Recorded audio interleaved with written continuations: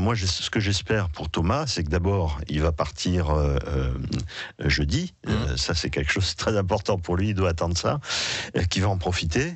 Mais il va surtout en profiter à titre individuel. Quoi. C'est, pour moi, c'est un touriste de l'espace avec un ticket qui est payé avec nos impôts. Ah, ça sert à rien du tout alors Ça sert pas à rien du tout, mais, mais à ce prix-là, on peut faire des choses quand même beaucoup plus productives que d'aller tourner autour de la Terre à bord d'un laboratoire spatial et faire encore des expériences. Aller sur Mars, c'est ça c'est Voilà, ce qu'il faudrait faire aller sur Mars ou s'installer sur la Lune et exploiter les ressources lunaires, les ressources euh, minières en quelque sorte. Dans le régolithe lunaire, il y a quand même des molécules très intéressantes. Et puis, euh, sur la face cachée de la Lune, on pourra installer un observatoire d'astrophysique et voir l'univers bien plus loin qu'on peut le faire aujourd'hui. Ça sont de véritables